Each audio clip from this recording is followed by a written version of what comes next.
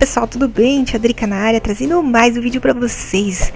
E estamos aqui às 9h16 da manhã, dia 18 de maio. Chove em Santos e, e tá fazendo 19 graus, tá um pouquinho frio. E hoje nós vamos aqui jogar um pouco de Clash Royale. Partiu pro jogo, galera. Bom, na verdade não vou jogar. Hoje eu quero falar algumas coisinhas para vocês. É... Hoje é dia 18 de maio, temos aqui. Fiquei sabendo que temos uma atualização no jogo. Eu não sei se já atualizou para vocês, mas o meu já atualizou aqui pelo jeito. Porque hoje de manhã eu entrei aqui e já estava dizendo que estava disponível a atualização. É muito provável de que já tenha atualizado e tudo mais. Ai ai, vamos ver o que, que teve de bom. Né? A galera me deu. Olha só que maravilha isso, gente. Olha só que maravilha, quanto baú eu tenho para abrir. Eu vou abrir aqui com vocês. Mas antes, nós vamos ver o que houve de bom aqui nas atualizações, certo? Aqui tá dizendo que chegou a atualização 18 de maio, né? Então, vamos ver o que teve de bom, o que teve de ruim. E depois eu quero que vocês comentem aí, tá bom? O que vocês acharam dessa atualização de hoje, beleza? O gigante real teve uma redução nos danos em 4%. Eu não sei se isso é bom ou se é ruim, porque eu não tenho o gigante real, eu não sei se ele é muito forte, se ele é muito fraco, se. Eu não sei, não sei como é que é. Quem tem aí, diz aí o que, que vocês acharam dessa redução aí. Bom, então ele foi nerfado. O gelo, redução da duração em um segundo. Isso aí eu gostei, porque eu sofro com os oponentes que têm gelo. O pessoal que tem gelo tá muito OP pelo, pro meu gosto. Então, foi reduzido aí a duração para um segundo. Não, foi reduzido em um segundo, né? Então, eu não sei como é que é o gelo porque eu não tenho. Então, eu não sei qual é a duração dele. A fornalha. O custo em Elixir foi reduzido de 5 para 4. Os pontos de vida reduzido em 14% e a duração reduzida de 50 para 40 segundos.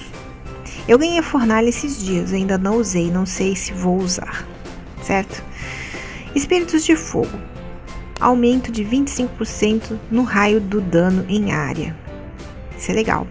Para quem não sabe, aí a fornalha é como se fosse uma cabana de goblins ou uma cabana de bárbaros. Ela vai summonando aí os espíritos de fogo, tá bom? Ela vai summonando de dois em dois é, pode ser até interessante porque agora os, os espíritos de fogo têm um aumento de 25% no raio de, de dano, né? Então pode ser até uma boa testar e talvez eu faça um deck para testar essa fornalha aí depois. Os guardas teve um aumento de 8% dos pontos de vida e nos danos causados. Mineiro, aumento de 6% nos pontos de vida. Lava Round, aumento de 3% nos pontos de vida. Lava Pups, aumento de 9% nos pontos de vida. O Lava Round, ele vai soltando esses Lava Pups aí, certo?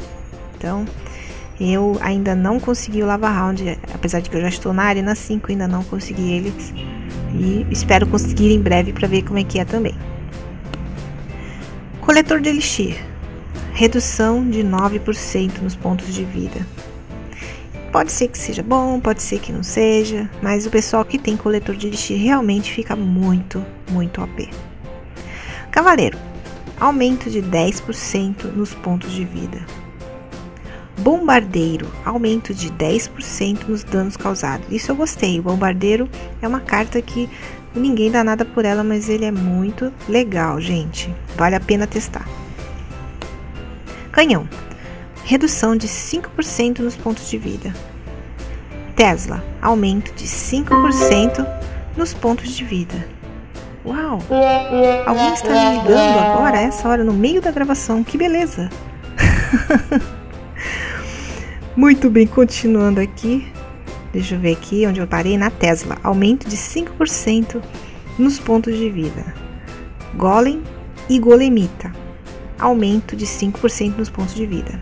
Tá? O Golem é, é, é bem legal também, gostaria muito de tê-lo, mas acho que é só para a arena mais, mais pra frente, né? Não sei se é 6 ou 7, eu não sei, tá?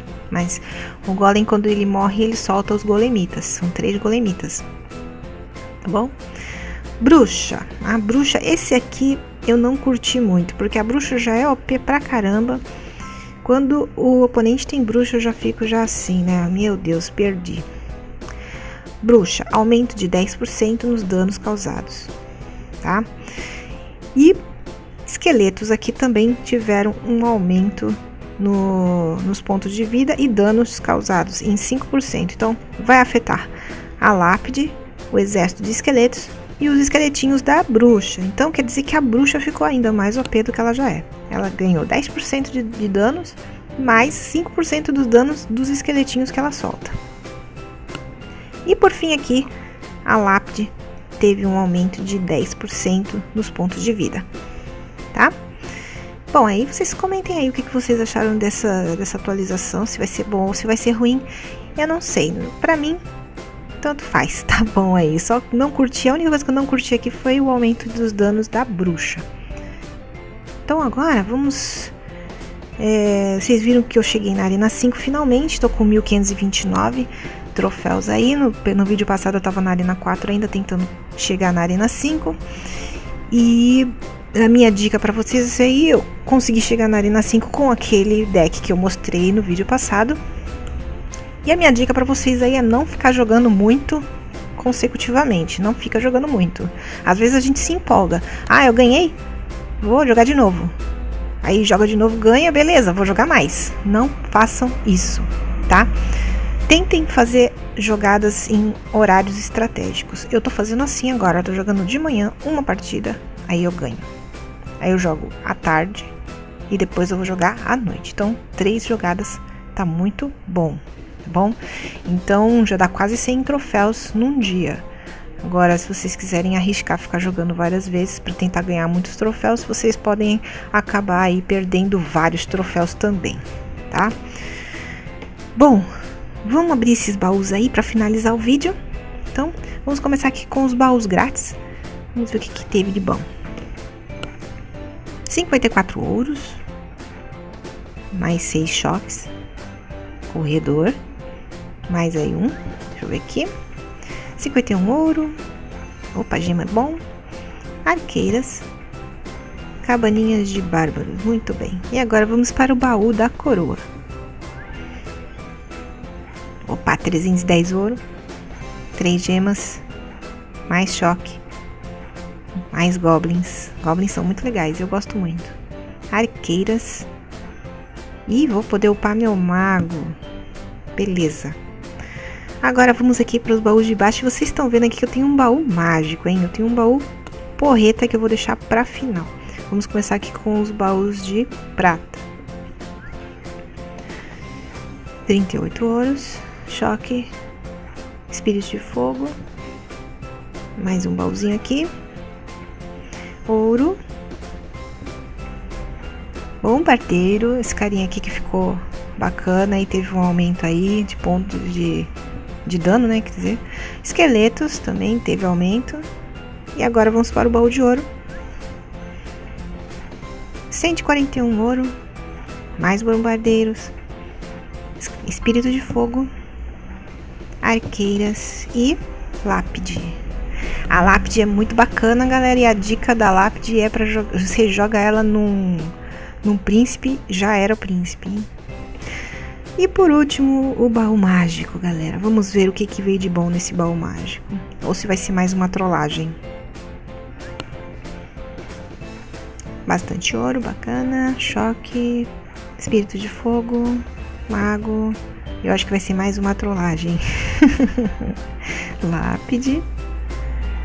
Oh, finalmente uma carta épica do príncipe, mas mesmo assim vai ser difícil eu upar meu príncipe. Apesar de que. Ah, que maravilha! Essa foi boa, essa aí foi boa. Eu quero até tirar um print aqui, deixa eu ver se eu vou conseguir tirar um. Consegui. Tirei um print aqui, eu quero postar no Twitter pra galera. Porque finalmente eu consegui o espelho e espelho é muito massa, tá? Bom, para vocês aí que não me seguem no Twitter, aproveitando aí falando em Twitter, tá? Segue lá, Todos os links da, das redes sociais estão aí na descrição do vídeo. Segue Twitter, Facebook, Instagram, que eu tô sempre postando alguma coisa lá, tá bom? Beleza, gostei. Gostei pra caramba. Deixa eu ver se tem alguém online. Tem duas pessoas. Não, tem uma pessoa online. Comigo, duas. Então. Não tem ninguém. Tá, tá muito cedo ainda, galera. Tá muito cedo. Por isso não fiz facecam, porque tá todo mundo dormindo aqui em casa ainda. e eu queria gravar esse vídeo para postar ainda hoje por causa da atualização, tá? Bom, galera, é o seguinte, o vídeo é esse, tá? Eu espero que vocês tenham curtido. Não se esqueçam de deixar aquele like maroto. Faça comentários, bastante comentários, que eu gosto muito de receber comentários. E principalmente compartilhe o vídeo nas redes sociais, porque isso ajuda bastante mesmo na divulgação dos vídeos e do canal, ok? Então, é isso. Um super beijo para vocês e até o próximo vídeo. Tchau, tchau, galera!